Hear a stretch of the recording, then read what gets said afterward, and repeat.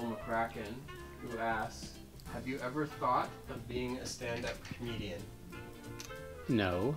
From Twitter, Byron, why are you so dumb? I don't think I am so dumb. Facebook question: Are you related to Paul Bellini? I have no idea who Paul Bellini is, so we can ask the audience to see what they think. Elliot Noel asks, "Boxers or briefs?" Uh, I wore uh, boxers forever until about uh, a year or two ago when I was uh, when I got into briefs. Now that's the only thing I do.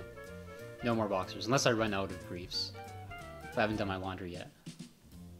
Kyle Williams asks, "Do you find it weird that you look like two completely different people when you have a beard and when you don't?" Do I find it weird? Um, I find it weird when I look at myself after I've just shaven or not shaven, because I kind of forget what I look like. How did it feel to get beaten by Paul in that race? You thought you had it. Well, I never thought I had it. That race was probably the worst day of my life in terms not that not that I lost, but how I felt afterwards. I wanted to die. Oh, everybody, put your attention to Byron. Twitter question from Larry: Hi, Larry. Are you are you still trying to date your cousin? I was never trying to date my cousin.